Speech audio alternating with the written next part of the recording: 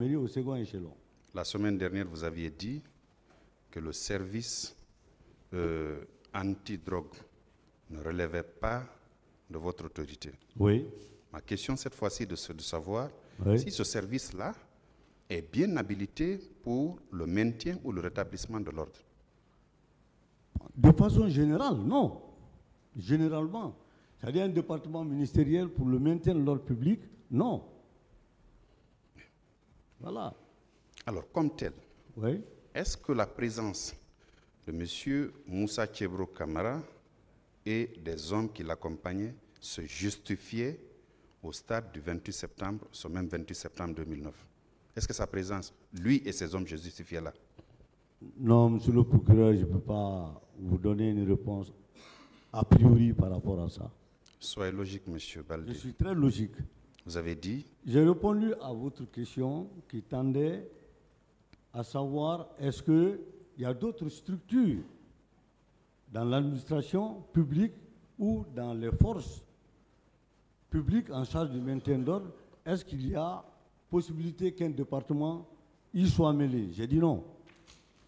Mais maintenant, la motivation du, département, ça, moi, je ne peux pas. Parce que j'étais très sincèrement, hein, je pose la question oui, en tenant compte de quelques éléments. oui, Le meeting oui, au stade du 28 septembre oui, rassemblait rien que les forces vives de la nation. oui, On n'a pas parlé de grands bandits, on n'a pas parlé de narcotrafiquants, oui, on n'a pas parlé de grands criminels. oui. Est-ce que la présence du service habilité à rechercher les infractions de ce genre se justifiait là-bas ce jour J'ai déjà répondu à ça, monsieur le procureur. Je vous dis, traditionnellement, non. Bien. Mais par rapport à un ministre de la République, moi, je ne peux pas répondre à sa place. hein. Euh, il y a un accusé dans le box, M. Mamadou Aliou Keta, qui est gendarme. Vous le connaissez? Oui, je connais Mamadou Keita. Il a été un de mes gardes-corps, monsieur le procureur. D'accord.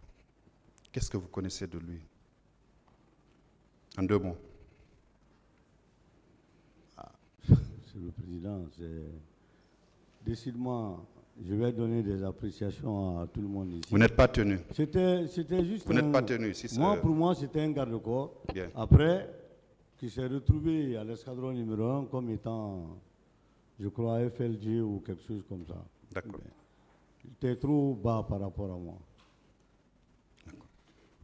Une dernière question euh, qui ne va pas toucher le, le 3 décembre. Le président nous a demandé de ne pas en parler, on n'en parlera pas. Mais lors des explications, lors de, l'interrogatoire de M. Abakar Diakité, alias Toumba, il a eu à déclarer ici qu'on voulait lui faire porter le chapeau des événements du 28 septembre. Et que, ce faisant, on a arrêté deux de ces éléments qu'on avait conduits à une unité de gendarmerie. Vous étiez informé de ça? PM3, exactement. Bon, c'est juste, ce n'était pas deux personnes. D'accord. Mais je ne peux pas donner plus de détails parce que c'est une procédure qui est déjà ouverte. Moi-même, j'ai été, Monsieur le Président, j'ai été entendu par un doyen des juges à Mafanko. Je crois que c'était le doyen des juges Yansané. À cet effet, pour moi, cette affaire est pendante à la justice. Si nous l'expliquons ici, le jour que Je ne parle pas des événements du 3 décembre, M. il y avait plus de deux personnes, ce n'était pas deux personnes. D'accord. Monsieur le Président, j'en ai fini, je vous remercie. La défense.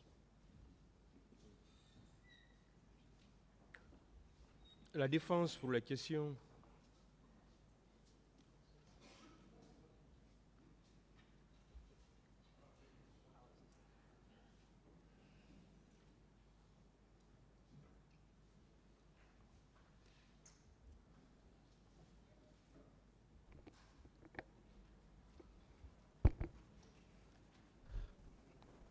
Monsieur le Président, honorable assesseur, avec votre permission, je vais poser des questions au général Baldé. Bonjour mon général, Bonjour, maître. je ne vais pas avoir beaucoup de questions pour vous, et- mais je vais quand même euh, poser quelques-unes pour certaines précisions. Bien, maître.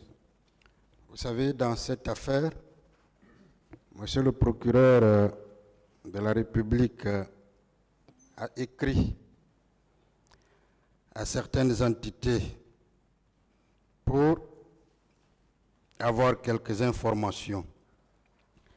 Il a surtout écrit au, colonel, il me semble, le colonel Aguibou, qui était en réalité le responsable au directeur de l'école de la gendarmerie de Caléa, qui a plutôt fourni un document intitulé Chronologie des directeurs de l'école de la gendarmerie de Caléa. Oui. Et le but, en réalité, était de créer un lien, et c'est en cela que mes questions vont être posées, entre le colonel euh, Blaise Lama et le président Dadis. À l'époque des faits, vous étiez le chef d'état-major général des armées. Non. Le chef d'état-major de la gendarmerie nationale, c'est bien cela? Oui, à l'époque des faits, j'étais chef d'état-major de la gendarmerie nationale. C'est parfait. Avant vous, qui étiez chef d'état-major général de la gendarmerie? Je suis venu remplacer le journal de division Jacques Touré, paix à son âme. Le général de division Jacques, Jacques Touré. Touré. Ok. Est-ce que dans ce document, il est noté que le colonel Blaise Lama était le directeur du centre de Kaléa entre 2009 et 2010 Colonel Blaise? Colonel Blaise Lama, qui était le directeur du centre de Kaléa entre 2009 et 2010. Ce document, il est produit. Je parle du colonel Bienvenu Lama. Hein? Je parle du colonel Bienvenu Lama. Ah voilà, bienvenue. Bienvenu Lama. À ce que je sache, bienvenue n'a pas été directeur de l'école de Caléa. Je sais. À ce que moi je sache. Et vous savez, j'ai une note signée par vous-même.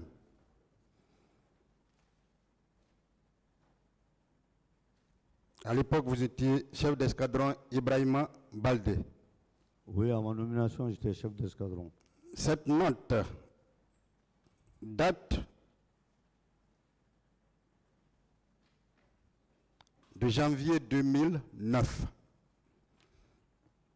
Alors, par cette note, vous avez désigné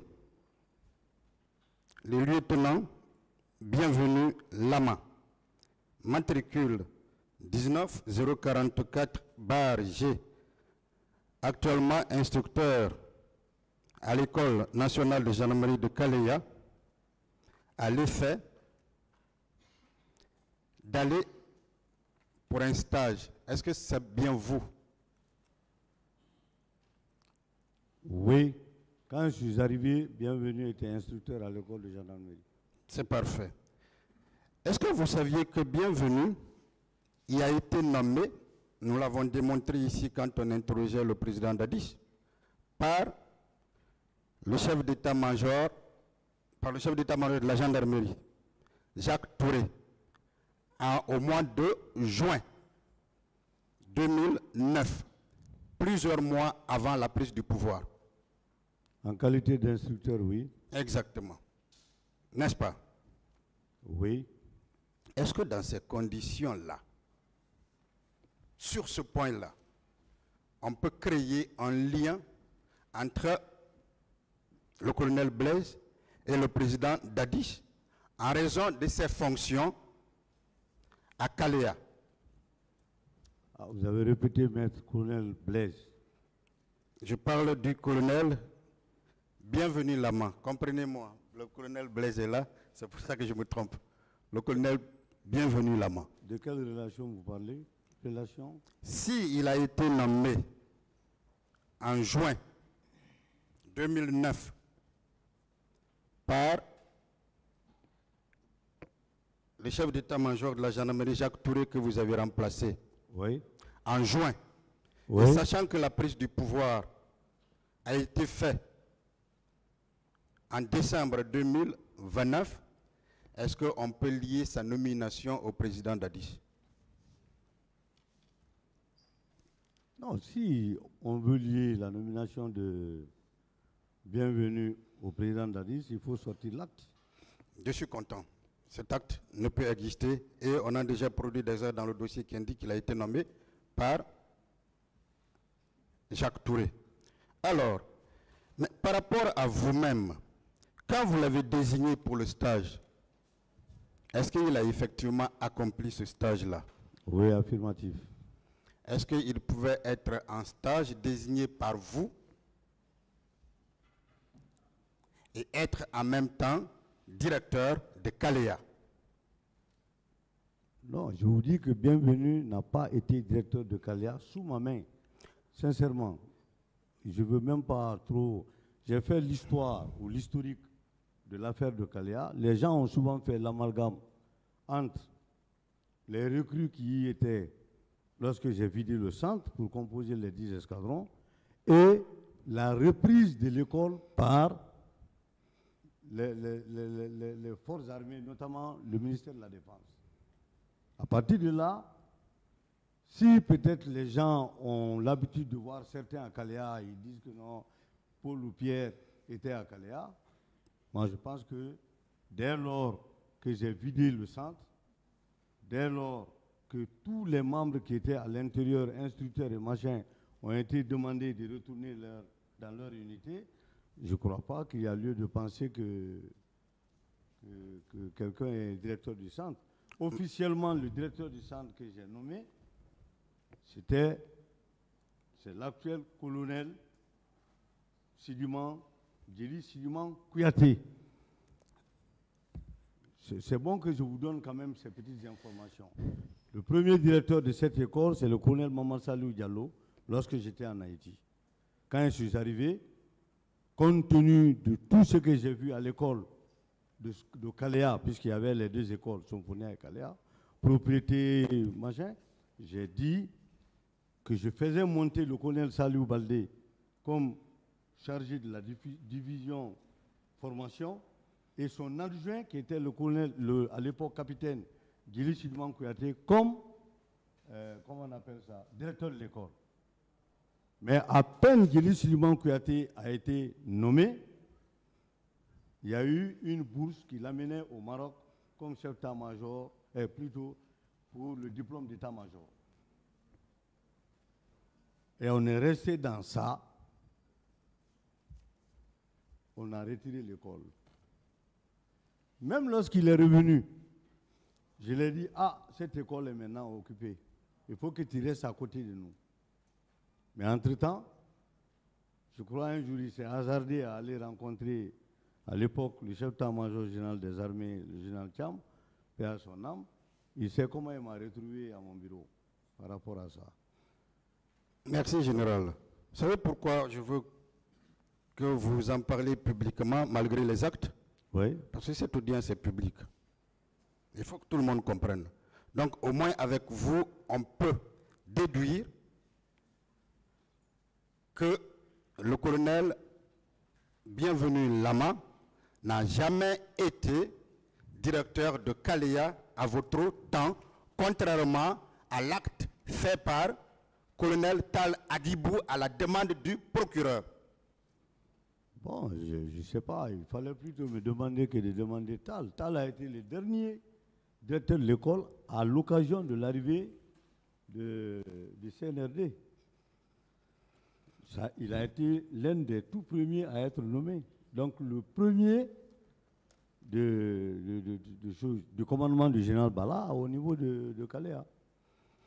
Je vous- pas de quoi il s'est fondé par rapport à ça, Je vous remercie parce qu'au moins grâce à vous, ce tribunal comprendra que l'on ne peut créer aucun lien entre le président Dadis et le colonel Bienvenu Lama et que le document produit par le parquet doit carrément, on ne peut pas prendre ça en compte. Alors, pour d'ailleurs confirmer ce que vous dites, pour confirmer ce que vous dites, parce que vous êtes témoin, l'une de vos obligations, c'est d'être sincère. Voici le diplôme obtenu par le colonel Bienvenu Lama à la suite de ce stage. Je vous remercie. On va évoluer. Mon général, est-ce que vous confirmez que le chef d'état-major général des armées a répercuté effectivement à votre niveau les instructions reçues par le président Dadis, selon lesquelles l'armée devrait rester consignée. je suis mordicus dessus. Parfait. Ces ordres étaient tout simplement verbales, Non, c'était une réunion qui a débouché sur les instructions. Est-ce que ça voudrait dire au moins que dans la vie militaire, il est possible que le supérieur donne uniquement des instructions verbales à ses subordonnés? Dans l'armée, Oui. oui, Est-ce que c'est bon de revenir là-dessus et d'expliquer que cela est possible et que- qu'en matière, dans le cadre militaire, ce ne sont pas forcément des actes écrits qui comptent Bon, les actes écrits sont les meilleurs. Il y a une matière dans l'armée qu'on appelle les écrits de service. Les écrits de service. Les écrits de service. Oui. Ça veut dire que pour toute activité administrative et même opérationnelle, il faut nécessairement les traduire en écrit. Première raison pour un meilleur entendement des instructions du chef. Parce que opération, opération, opération, opération n'est pas égal à opération. Mais lorsque le chef lui-même décrit l'opération dont il s'agit, je pense que c'est la meilleure façon pour faire adhérer, n'est-ce pas, les subordonnés et pour que la mission puisse réussir. Deuxièmement, c'est aussi les archives. L'administration, c'est la continuité. Les archives. Donc ça, c'est le meilleur modèle. Mais dans l'armée, le chef peut prendre des initiatives en termes d'instruction, il les transforme en décision et il les transmet au subordonné qui va les mettre en application. C'est parfait. Mon, mon général, vous avez parlé ici qu'avant que vous soyez nommé chef d'état-major de la gendarmerie, le constat était qu'il y avait un réel manque de moyens. Est-ce que vous confirmez? Oui, maître. Parfait. Vous avez aussi déclaré ici qu'avant vous, la gendarmerie relevait directement du chef d'état-major. Est-ce que c'est bien des cela? armées- Général des armées. Oui, du chef d'état-major général des armées. C'est parfait. Est-ce que ça voudrait dire alors que en parlant des gendarmes, plutôt en parlant des militaires, on les confondait aussi aux gendarmes à ce moment-là? Non, ce n'est pas, c'est pas évident de confondre le gendarme en activité aux militaires. mais rele- mais ils relevaient de la même autorité Oui, hiérarchique. C'est ce qui a fait l'objet effectivement de la réforme. C'est justement de cette réforme-là que je Voilà. voudrais que nous en parlions. Et heureusement que vous, vous, vous me dévancez. Alors, et vous, vous étiez... Est-ce que vous pouvez expliquer au moins à ce tribunal les réformes faites sous la direction du président Dadis pour qualifier l'armée guinéenne pendant que vous étiez son chef d'état-major de la gendarmerie? Bon, je reviens d'abord sur la subordination. Oui. Il y avait deux échelons de commandement entre le président Dadis et moi. Le premier échelon, c'est le chef d'état-major général des armées. Et le deuxième échelon, c'est le ministre de la Défense.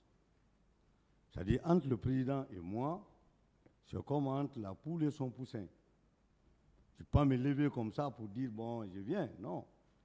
Je vais d'abord vers, si c'est des idées ou des instructions que lui peut donner, je vais d'abord vers le chef d'état-major général des armées, qui certainement ne peut pas directement prendre une décision. Il me fait monter vers le ministre de la Défense. Des fois, à ce niveau, le ministre dit, bon, c'est compris, vous pouvez partir.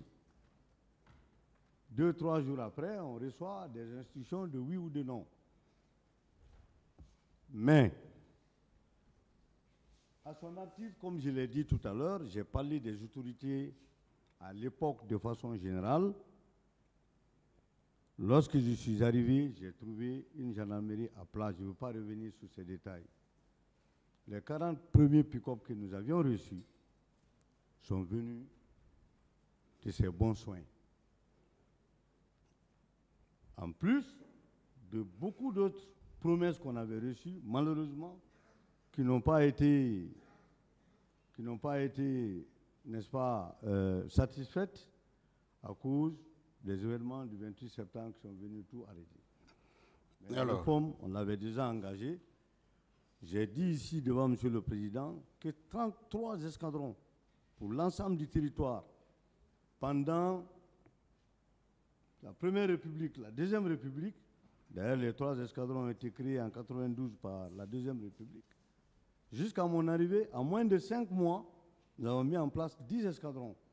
Et avant que je ne quitte, je ne voulais pas en parler, puisque ce sont des réformes, tout ça s'est passé sous ma main, j'ai- laissé 24 escadrons. Quel était le but visé en faisant toutes ces réformes? Le but, Le but, quel était le but visé? Qu'est-ce que le président Dadis voulait? Non, c'était une gendarmerie euh, républicaine, C'était une gendarmerie républicaine, n'est-ce bien pas? formée et bien entraînée. Alors pour vous, qu'est-ce qu'une gendarmerie républicaine?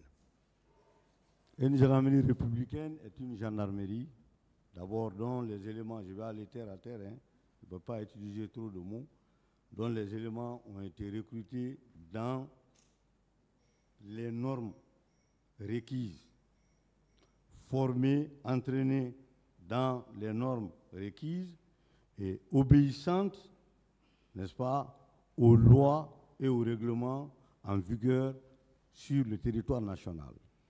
C'est parfait. Pensez-vous qu'en en 11 mois, 10 jours, on peut parfaire toute une armée?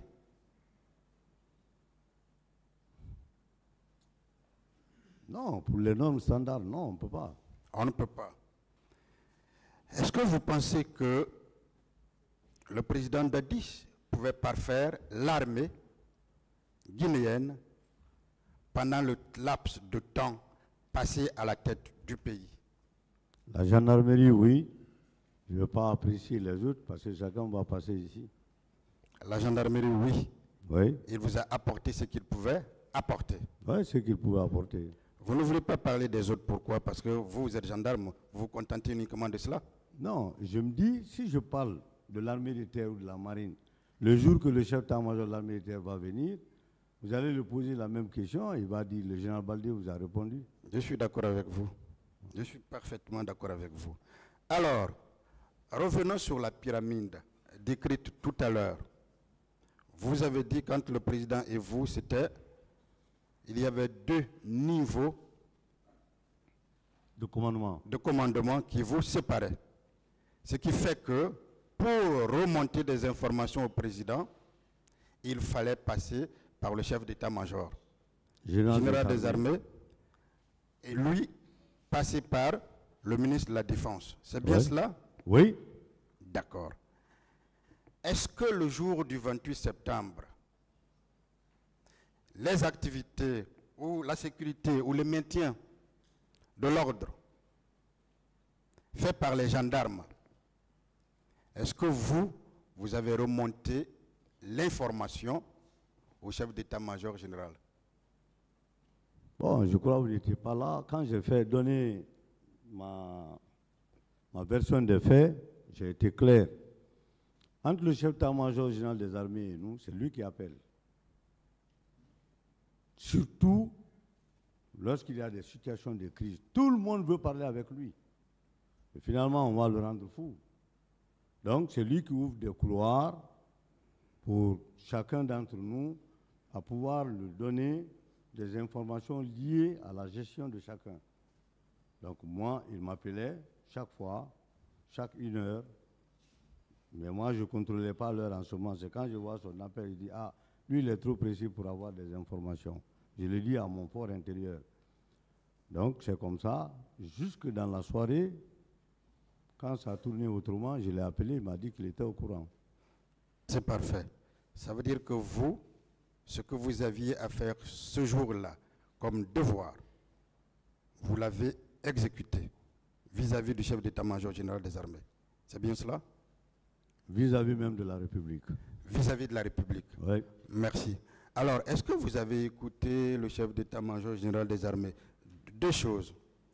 Il a dit ici lui, il est allé rendre compte au président Dadis, mais vu l'état dans lequel il se trouvait, il ne l'a pas fait. Il s'est abstenu. Ce qui signifie qu'il n'a pas remonté l'information au président Dadis. Est-ce que dans ces conditions, les informations qui pouvaient aller à l'entendement du président Dadis, qui venaient de vous, est-ce que si lui, il dit qu'il n'a pas pu rendre compte au président Dadis, le président Dadis ne dit pas la vérité quand il dit qu'il ne savait rien Maître, le chef d'état-major général des armées était mon chef à l'époque des faits. Je n'ai pas d'appréciation à dire sur, euh, Je- à faire sur ce qu'il a dit. Je ne vous demande pas d'apprécier. Oui, Moi, je parle d'une logique. Ce procès est très important oui, et votre passage est important pour la manifestation de la vérité. oui, Moi, je suis avec une logique concernant mon client, oui, le président Dadis. oui, Alors, vous, vous êtes chef d'état-major oui, de la gendarmerie. Oui, Ça veut dire que vous recevez des informations venant de vos subordonnés, donc Oui. de la gendarmerie ou des gendarmes. oui, Ça, au moins, on est d'accord. c'est clair. Et vous, vous n'êtes pas au plus haut niveau de la hiérarchie. Oui, Le plus haut niveau de la hiérarchie, le chef d'état-major général des armées est là. Vous, vous lui transmettez la même information. Mais lui, il dit publiquement ici qu'il n'a pas pu transmettre cela au président Dadis. Moi, je vous demande, vous, qui êtes observateur, comme vous le dites, hein, est-ce que dans ces conditions, quand le président Dadis dit, parce que lui, celui qui était son oreille et ses yeux par rapport à vous, c'était bien le chef d'état-major général des, des armées. Mais si le chef d'état-major général des armées dit qu'il n'a pas pu rendre compte au président Dadis, est-ce que le président Dadis ne dit pas la vérité s'il dit qu'il ne savait rien? Bon, à ce niveau, je peux dire oui. On va inverser la courbe. C'est-à-dire, vous, vous dites que pour aller au président, il faut les deux. Est-ce que pour que le président vous atteigne, je mets ça entre griffes, il fallait également passer par le chef d'État-major Pour vous C'est à moi? Oui. Non, le président ne pourra pas me donner directement des ordres. Ça va être euh, Je suis, une je, salade mal. je mal- suis, je mal suis heureux. Je suis heureux. Est-ce que ce n'est d'ailleurs pas pour cela que pour vous transmettre l'ordre, les instructions, de jouer votre rôle de maintien d'ordre à la gendarmerie, il a préféré passer par le chef d'état-major général des armées, au lieu de vous le répercuter directement? Certain, c'est c'est la pratique. Est-ce que dans ces conditions ici, quelqu'un, une partie à ce procès, peut valablement démontrer, au-delà de tout doute raisonnable, que le président Dadis avait les informations venant même de commandants d'unité? Parce qu'on parle de certains camps, qu'il a nommé tel dans tel camp, et que ces gens-là agissaient en son nom et pour son compte. Est-ce que ces personnes pouvaient vous court-circuiter et agir directement devant le président Dadis, alors que lui-même, premier responsable, pour venir à vous, a l'obligation de respecter la hiérarchie? Est-ce que cela n'est pas une contre-vérité qu'on veut faire comprendre à ce tribunal ici?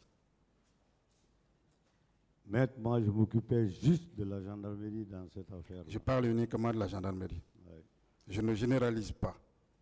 Croyez-moi, Ouais. je ne généralise pas. Ouais. Mais je sais que cette chaîne-là est importante pour expliquer les autres chaînes. C'est pour ça que je vais insister là-dessus.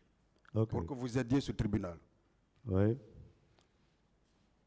Est-ce qu'il est possible pour un gendarme, fut-il le poste occupé, il était possible de s'adresser au président Dadis?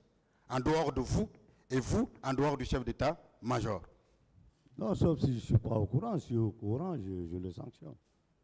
Est-ce que vous en avez su après, alors que vous n'aviez pas été au courant et que vous avez court-circuité?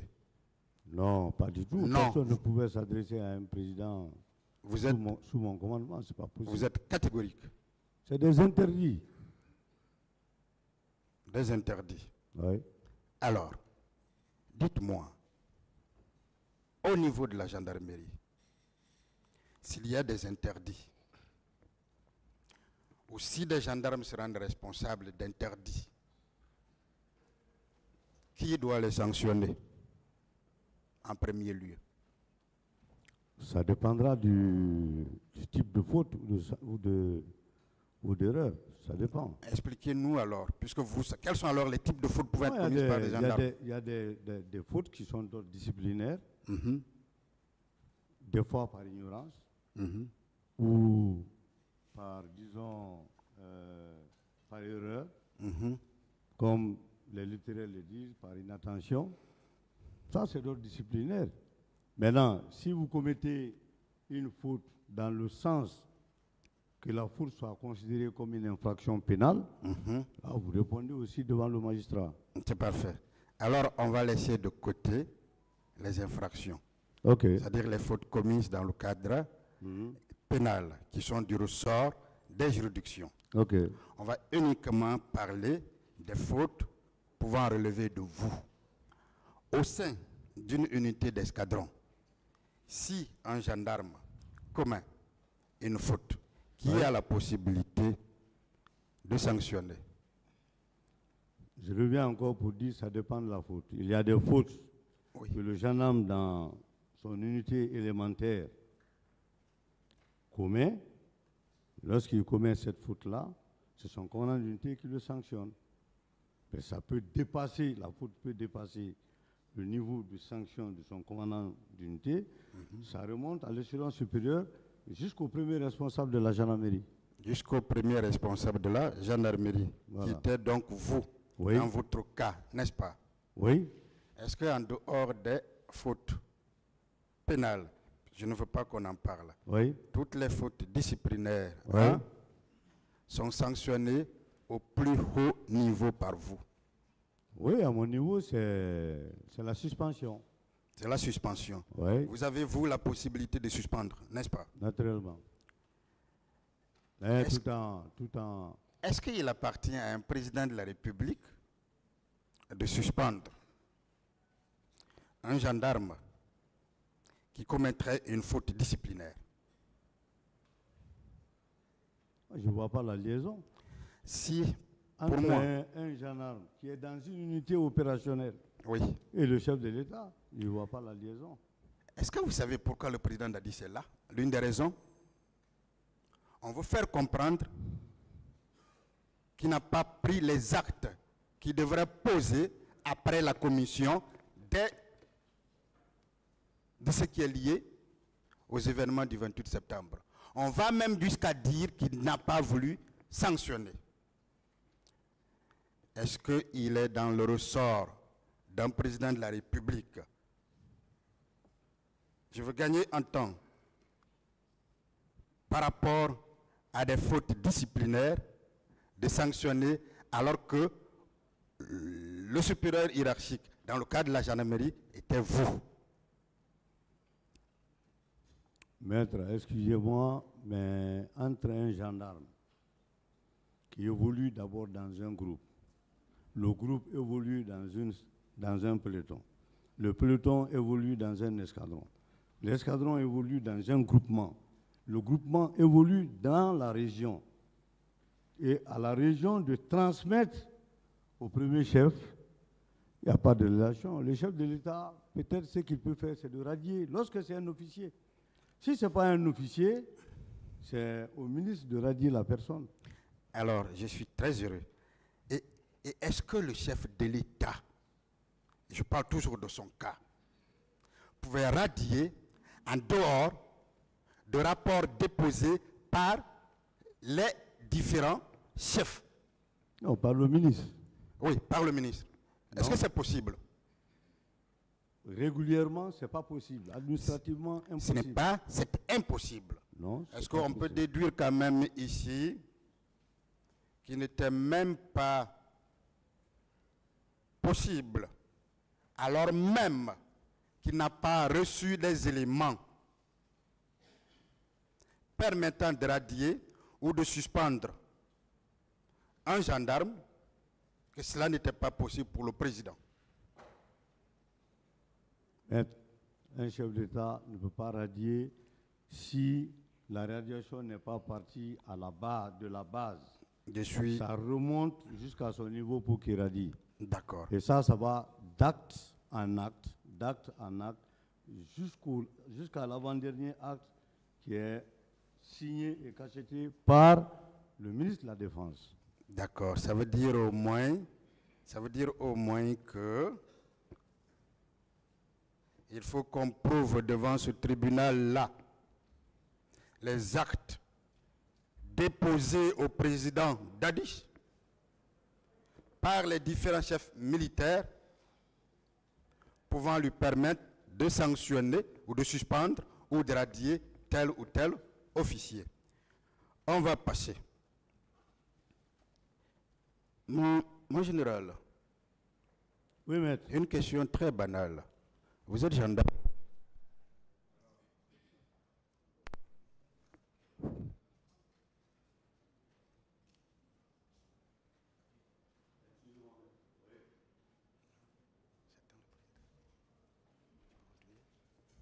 Je peux continuer, Monsieur le Président? Allez-y. Ok, merci. Alors, est-ce qu'il est possible pour un gendarme d'avoir un garde du corps? Oui. Il ne fonctionne plus. hein.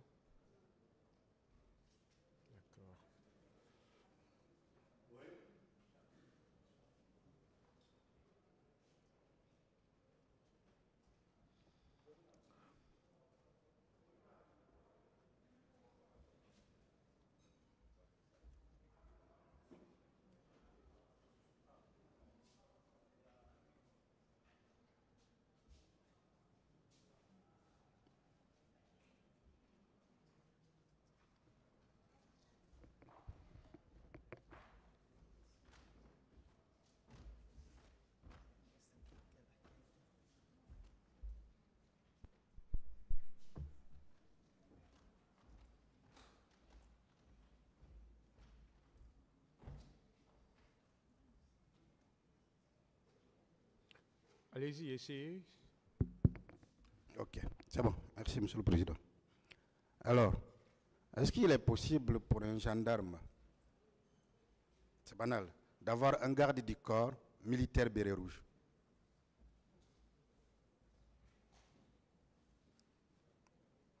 Ou vous, personnellement, en tant que premier responsable de la gendarmerie nationale, est-ce qu'il était possible pour vous, bien que gendarme, d'avoir un garde du corps militaire qui porte un béret rouge Moi, mes gendarmes étaient suffisamment formés pour me sécuriser. Et moi, je ne peux pas le faire. Est-ce qu'il est possible? Est-ce que c'est une interdiction dans l'armée? Est-ce qu'il est possible? Je ne dis pas vous.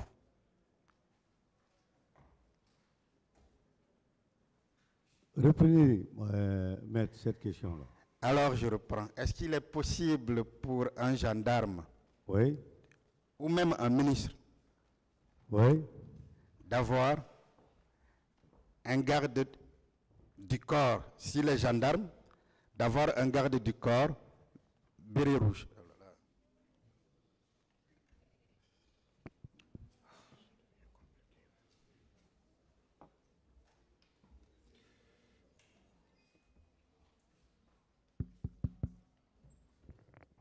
Allez-y. C'est une question qui me semble être euh, compliquée parce que le gendarme lui-même, il est garde-corps. Je suis arrêté là, je vois auprès des magistrats ici que des gendarmes qui les, qui les sécurisent. Le gendarme est formé pour sécuriser. Pour sécuriser le citoyen et ses biens. Pour sécuriser les institutions de la République. Dire que est-ce qu'un gendarme peut se faire garder par un rouge Franchement, je n'en sais pas. Est-ce que c'est possible, mon général? Il a répondu. Monsieur le Président, merci. Pour le moment.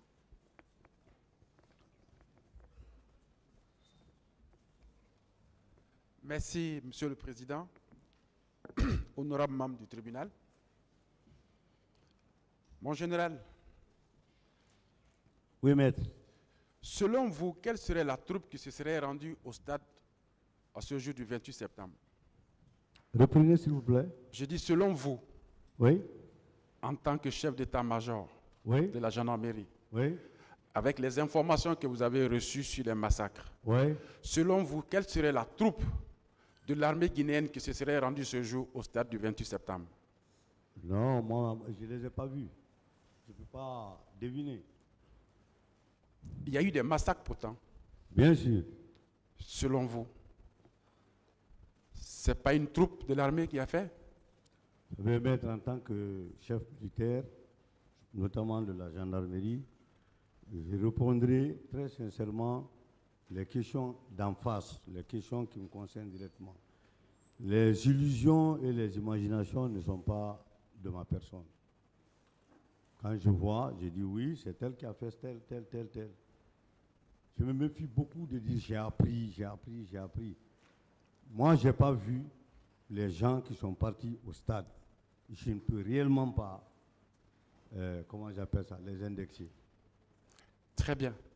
Donc, selon vous, est-ce que l'une des personnes des 11 accusés qui sont dans le box, des qui sont dans le box ici présent, Oui est-ce que vous pensez qu'il y a une de ces personnes qui est responsable de ces actes? Non, je ne sais pas, maître. Est-ce que, à ce jour, comment vous, vous pouvez expliquer l'attitude de vos unités à remplir leur mission Comment vous expliquez cela, vos unités? Encore une fois, vous demandez comment mes unités, Comment vous pouvez expliquer l'attitude de vos unités? Ce jour-là face aux événements non, préciser l'attitude. Simplement, quelle était l'attitude de vos unités? L'attitude de l'unité, Oui, de vos unités ce jour. c'était des unités républicaines déployées sur le terrain pour le maintien de l'ordre. Monsieur, monsieur, monsieur le Président, je peux. attends.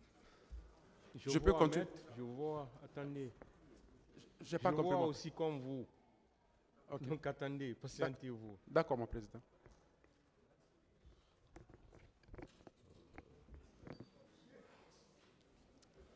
L'audience est suspendue.